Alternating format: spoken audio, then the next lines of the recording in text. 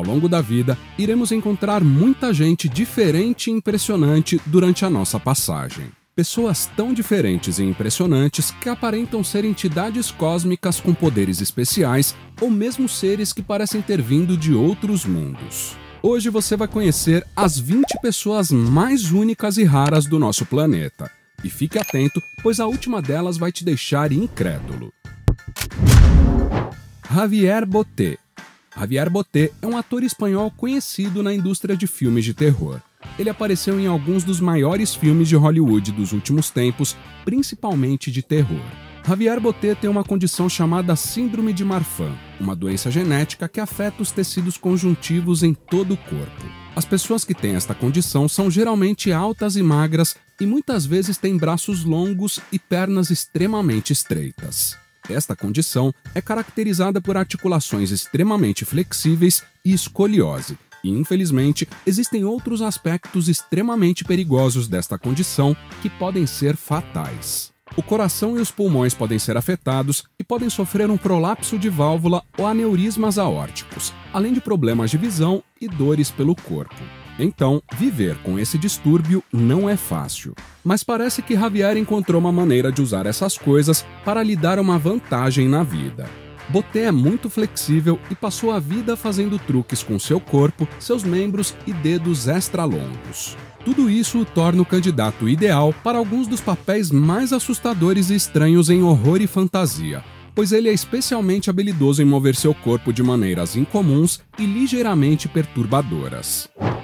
Paul Carlson Paul, nascido na Califórnia, é realmente um homem de pele muito azul. Isso não é nenhum tipo de fantasia, ele é legitimamente azul, como o azul dos homens do Blue Man Group, mas no caso dele, não é por causa de tinta. Ele começou a ficar azul há cerca de uma década atrás, quando tentava tratar uma condição de pele em seu rosto. A técnica que ele usou para tratá-la era um pouco incomum e definitivamente não recomendada. Ele usou uma preparação de prata que aplicou diretamente na pele e também começou a tomar prata coloidal em forma líquida. Esta é a prata que está presente na produção de alguns remédios para problemas de pele e era bastante comum antes da invenção da penicilina. Desde a década de 1930, esse tipo de cura foi substituído com razão pela medicina, mas de qualquer maneira, o homem já sofreu com isso e ele ainda toma o material por sabe-se lá qual razão, ignorando as indicações dos profissionais. Ainda assim, é muito intrigante conhecer o papai Smurf da vida real. Sheila Madison eu não sei vocês, mas eu achei muito fofinho. Quando Sheila Madison nasceu, seus pais não tinham motivos para acreditar que ela seria diferente no departamento de cabelo. O dela era macio e fofinho, como o de seus irmãos quando eram bebês. Mas depois de alguns meses, eles começaram a notar que, na verdade, estava começando a crescer muito mais cabelo do que era normal e continuava indo para cima. Acontece que Sheila tinha algo chamado Síndrome do Cabelo Incontrolável isso basicamente significava que o cabelo dela foi afetado por uma condição que o deixou crescendo direto do couro cabeludo, quase sem controle ou freio. Aparentemente, isso é causado por um gene que também pode enfraquecer o esmalte dos dentes. Existem apenas cerca de 100 pessoas em todo o mundo que tiveram essa condição diagnosticada. Especialistas dizem que geralmente começa na primeira infância, com cerca de 3 anos de idade, mas pode aparecer até os 12 anos de idade. No entanto, quando a criança atinge a adolescência, o cabelo geralmente começa a se achatar e mudar a textura para algo mais comum. O bom é que ela tem um belo travesseiro para relaxar em qualquer lugar sempre que desejar. Amou Raji a próxima pessoa é muito diferente para dizer o mínimo. Ele é considerado o ser humano mais sujo do mundo e há um prêmio para isso, mas não tenho certeza se alguém realmente o desejaria. Esse homem iraniano de 83 anos supostamente não toma banho há 65 anos. O cara está levando o medo de água a um nível totalmente novo e se recusa até mesmo a tocar em coisas molhadas. A razão? Bem, ele acredita que se tomar banho vai adoecer e acho que ele vem trabalhando nessa desculpa há mais de seis décadas, mas talvez ele esteja certo. Então talvez ele esteja no caminho certo, embora eu não possa imaginar que isso faça muito bem para a vida social do cara, exceto talvez por pessoas que tiveram uma calamidade baseada no nariz e perderam todo o olfato. Este homem vive no deserto, come carne de porco espinho podre, fuma esterco de vaca seco e bebe toda a sua água de uma lata de óleo enferrujada. Tudo para permanecer cada vez mais sujinho. Natasha Denkina Natasha disse que tem visão de raio-x desde os 10 anos de idade e ela diz que pode ver dentro das pessoas e de seus corpos. Ela diz que seus olhos são como uma máquina de raio-x. Ela também afirma ser capaz de fazer diagnósticos sobre várias condições que ela pode ver com muito mais precisão do que qualquer máquina tradicional. Aparentemente, muitas pessoas pensam que ela pode estar contando a verdade sobre essas coisas. Existem muitos pacientes, jornalistas e até alguns médicos que estão convencidos de que Natasha tem esse superpoder. Em 2004, o Discovery Channel estaria fazendo um programa sobre Natasha e eles queriam que alguns testes científicos fossem feitos para provar os poderes da jovem. Depois de fazerem uma série de testes sob a orientação de professores de psicologia, que são especialistas em alegações dos chamados poderes paranormais como este, eles começaram a acreditar que ela estava usando uma técnica muito simples conhecida como leitura a frio. Esta é uma tática empregada por médiums e outros tipos de cartomantes em que o leitor oferece uma ampla seleção de coisas que alguém está ansioso para acreditar que confirmará as declarações do médium. Eles dizem que Natasha escaneia uma pessoa da cabeça aos pés e simplesmente descreve uma longa lista de anormalidades que ela vê e então ela consegue acertar. Paul Alexander Uma das doenças infantis mais cruéis de toda a história foi a poliomielite era uma realidade aterrorizante para crianças e suas famílias na década de 1950. Essa devastadora doença atacava rapidamente e podia causar paralisia total. Não havia cura conhecida e as crianças que contraíam a doença muitas vezes ficavam com efeitos que mudavam suas vidas permanentemente. Paul Alexander era uma dessas crianças. No verão de 1952, ele estava se sentindo muito mal, teve dor de cabeça e de pescoço e estava com febre alta. Em questão de dias, o menino de 6 anos, anteriormente saudável, não conseguia mais se mover, falar ou engolir. A poliomielite o paralisou do pescoço para baixo, então ele foi colocado dentro de um grande respirador, ainda hoje conhecido como pulmão de ferro, usado para ajudar a mantê-lo respirando. Ele nunca desistiu nesses 70 anos. Apesar de preso nesta máquina, ele estudou e escreveu um livro e até continuou a ter esperança. Tudo dentro dos limites deste pulmão de ferro, a máquina que salvou sua vida. Shiló Pepin Shiló tem uma condição super rara em que um humano nasce com suas pernas fundidas, o que pode dar a eles a aparência de ter uma cauda como uma sereia, e é por isso que esta condição também é conhecida como Síndrome da Sereia. A síndrome da sereia é tristemente conhecida por ser fatal e muitas vezes os fetos que sofrem com isso são abortados antes de nascerem. Sou diferente, mas não significa que não sou eu mesma. Shiló era uma das três únicas pessoas em todo o mundo que viviam com essa condição. Ela era conhecida como a garota sereia da cidade. Shiló tinha apenas um rim que funcionava apenas parcialmente e ela não tinha colo inferior nem órgãos genitais, e suas pernas estavam fundidas da cintura para baixo, mas mesmo assim ela superou todas as probabilidades de sobreviver e viveu até seus 10 anos de idade. Zhang Huifang Atingir a idade avançada de 101 anos é uma conquista notável, mas você sabia que pode começar a crescer chifre se envelhecer bastante? Uai, de repente começou a crescer um chifre no lado esquerdo da testa de Huifang, uma simples idosa chinesa. Em 2011, seu filho filmou o evento e disse que esse crescimento começou como uma pequena mancha de pele que foi ficando mais grossa e áspera e que continuou a crescer. Foi quando as pessoas começaram a realmente prestar atenção, pois aparentemente apenas cresceu e cresceu até ficar parecido com um chifre. Dizem que outro chifrinho começou do outro lado também. Seria ela a prova de que unicórnios podem voltar a serem reais? Larry Gomes Larry Gomes também é conhecido como o Homem Lobisomem. Ele é oficialmente o homem mais peludo do mundo inteiro e está muito orgulhoso do fato de que quase 98% de seu corpo está coberto por cabelos escuros e grossos. Isso não é o resultado de algum incidente estilo história em quadrinhos, como uma poção mágica ou uma mordida de lobisomem. Larry nasceu assim. Ele tem hipertricose generalizada congênita e este é o termo médico que é usado para descrever quantidades anormais de crescimento de cabelo sobre o corpo humano. Na história, essa condição muitas vezes significava que a pessoa com o distúrbio se veria rotulada como um homem-lobo ou uma senhora barbada e muitas vezes seria encarada e vista como aberrações. Eles realmente encontraram trabalho no circo como artistas com base nessa percepção pública e ignorância geral, pois infelizmente as coisas eram muito piores que agora. Quando ele era criança, Larry conta que costumava ser conhecido como Victor. Era implacavelmente intimidado pelas outras crianças, mas nos dias de hoje ele está abraçando sua situação e gosta de ser referido como o homem mais peludo do mundo, dizendo que isso significa que ele é simplesmente especial. E isso é verdade. Ramesh Darji.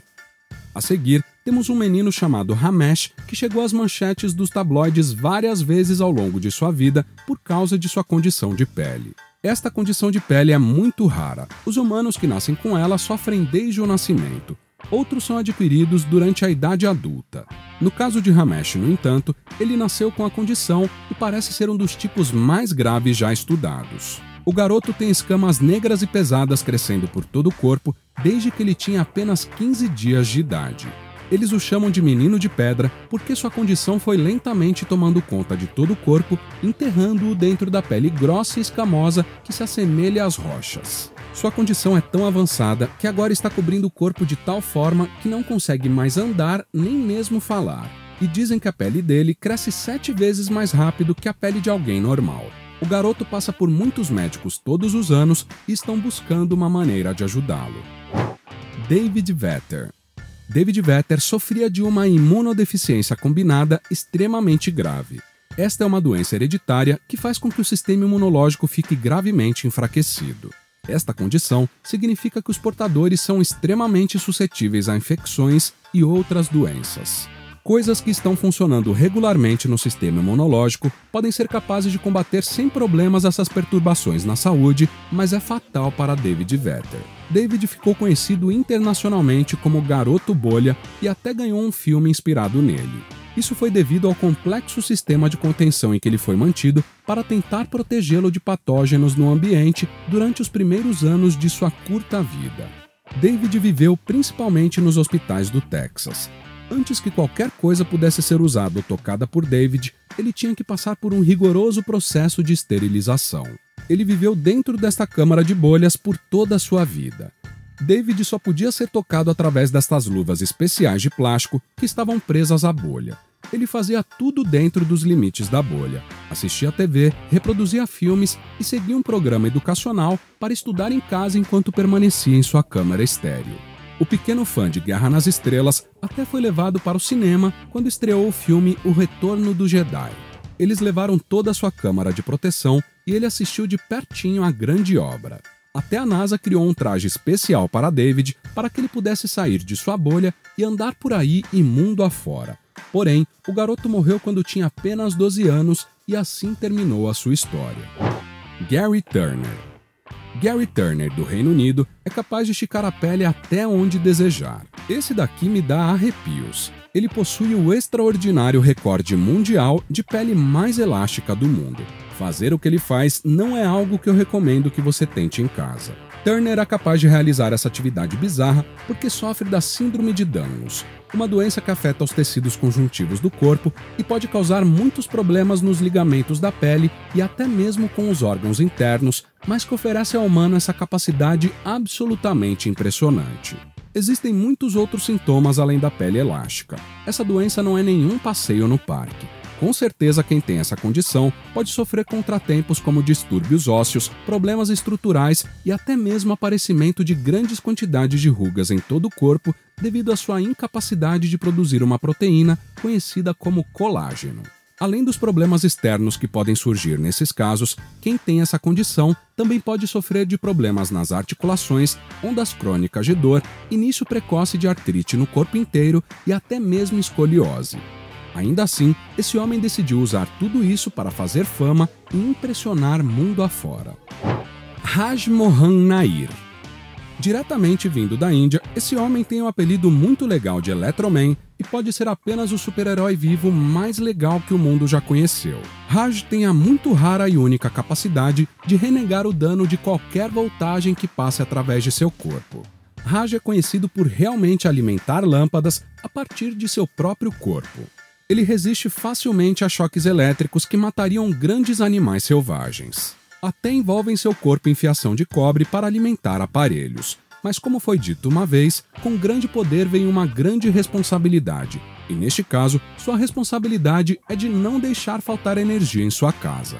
Mas brincadeiras à parte, ele é conhecido por se esforçar e participar de vários programas para mostrar seu poder especial.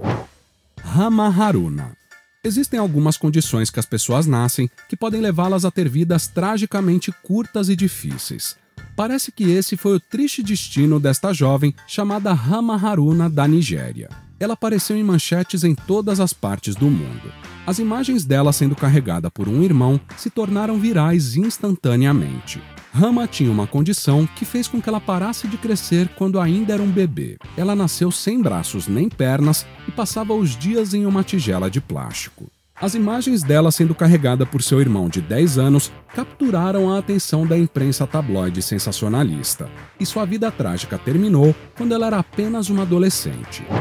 Amar Barati. Aqui está um cara que afirma ser tão devotado a Shiva que manteve a mão levantada por 38 anos sem parar. Amar viu isso como a única maneira de mostrar sua devoção a seu Deus. Ele decidiu segurar sua mão no ar desde 1970 Deixou seu emprego, deixou sua esposa e seus filhos e passou a perseguir sua dedicação para adorar Shiva em tempo integral. Ele decidiu que iria segurar seu braço no alto para ter certeza de que estava provando isso. Ele diz que isso desconecta dos luxos da vida mortal. O homem que já não é mais capaz de sentir seus dedos tem um braço que é distintamente deformado por todo aquele tempo que passou levantado. Durou quase quatro décadas e ele falou que naturalmente sentiu dor, mas que ela diminuiu depois de um tempo. A parte mais louca da história é que o cara inspirou outras pessoas a ir em frente e levantar os braços em devoção também. Há alguns que estão segurando seus próprios braços agora por 7, 13 e até 25 anos diretos. Nádia Lauricella. Essa mulher tem uma condição na qual uma criança nasce com membros extremamente encurtados ou às vezes sem membros. Esta condição é geralmente herdada pela família, e embora seja muito rara de acontecer, também há casos em que ela ocorreu porque a mãe foi exposta a certas drogas ou medicamentos pesados durante a gravidez. Na década de 1960, quando a talidomida causou o nascimento de centenas de bebês com essa condição, aconteceu um desastre. Nádia nasceu assim por causa disso. A mulher veio ao mundo sem braços e pernas mal formadas, mas ela diz que aprendeu a aceitar sua deficiência e se recusou a deixá-la dominar sua vida. Ela agora compartilha sua história em plataformas de mídia social e tem dezenas de milhares de seguidores interessados em saber como ela enfrenta os desafios que ela encontra em sua vida diária. Niakin Gatwet como modelo, Niakin está no centro das atenções o tempo todo, e aparentemente isso causou bastante agitação por algum motivo. Ela é alvo de uma confusão sobre racismo diante das redes sociais, então ela foi para sua própria mídia social para chamar a atenção para o problema do colorismo e do racismo. Niakin tem uma pele mais escura, quase azulada, lindíssima ela virou uma sensação nas passarelas, mas por causa da ignorância das pessoas, ela recebeu muitos comentários maldosos de pessoas que parecem discriminatórias.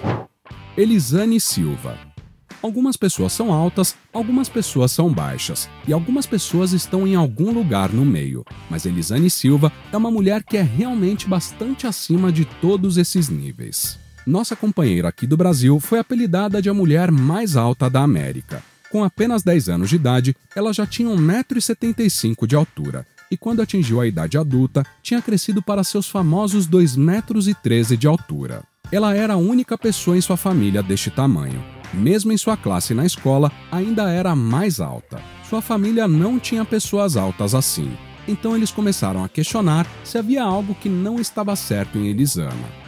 Infelizmente, por causa de sua altura, ela estava sofrendo de dores extremas enquanto o crescimento progredia. Além de ser muito alta para sua idade ou para qualquer idade, ela tinha dor em seus ossos e a sensação de uma enorme pressão crescendo em sua cabeça. Então descobriu-se que Elisane tinha um tumor benigno que estava crescendo em sua glândula pituitária e causou uma superprodução do crescimento de hormônios em seu corpo. Foi um momento muito difícil em sua vida. Ela foi intimidada por outras crianças na escola e as coisas foram muito difíceis por um tempo. Mas finalmente, depois de deixar a escola, ela assumiu o controle de sua própria singularidade e decidiu se tornar uma modelo usando sua altura a seu favor. Paturani Ghosh Caramba, aqui está uma história que provavelmente foi inventada, pois as pessoas que relatam isso na internet dizem que não é verificado. Então isso só mostra quanta confiança eles não têm. Mesmo assim, iremos contar essa história curiosa. Mas claro, acredite se quiser. Esta é a história totalmente não verificada de uma velha de uma vila desconhecida na Índia. De manhã ela vai para o lago, entra na água e aí ela fica lá o dia todo até o sol se pôr e então ela vai para casa e daí para a cama. Dizem que é porque há muitas décadas ela começou a sofrer de uma condição que fazia com que todo o seu corpo ficasse dolorido e inflamado, e a única maneira de acalmá-lo era ficar imersa na água o dia todo. Mas quem realmente sabe? Talvez isso seja apenas uma foto de uma velha que por acaso deu um mergulho um dia. Talvez a velha esteja simplesmente brincando com a gente. Ainda assim, é intrigante pensar no que aconteceu para essa história surgir. Deshant Adhikari já é difícil o suficiente ser um adolescente, você sabe, com todos aqueles cheiros estranhos, sensações irregulares e momentos vocais inesperados e hilários de acontecer. Mas e se de repente começasse a crescer um rabo e você fosse adorado como um deus? Uau! Isso parece ser exatamente o que aconteceu com esse infeliz ou talvez afortunado rapaz. O jovem do Nepal aparentemente tem uma cauda muito longa e peluda que supostamente mede quase 60 centímetros de comprimento. Parece que isso lhe dá uma vaga semelhança com o deus hindu Hanuman, que também ostenta uma cauda longa. Então as pessoas do Nepal decidiram que ele era a reencarnação daquele dito deus e o garoto ficou famoso de um dia para outro. Quando a cauda apareceu pela primeira vez, seus pais estavam naturalmente bastante preocupados e foram procurar aconselhamento médico em hospitais locais e de médicos e profissionais no exterior. Mas então, eles simplesmente decidiram visitar as autoridades religiosas locais e mostrar o tal problema.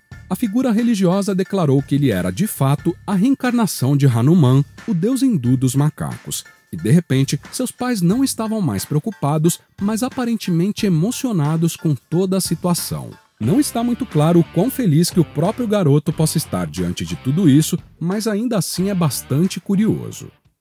Coloque aqui nos comentários o que você achou de conhecer todas essas pessoas especiais. Qual foi a que mais te impressionou? Inscreva-se no canal se ainda não for inscrito e ative as notificações após deixar seu like. Até o próximo vídeo.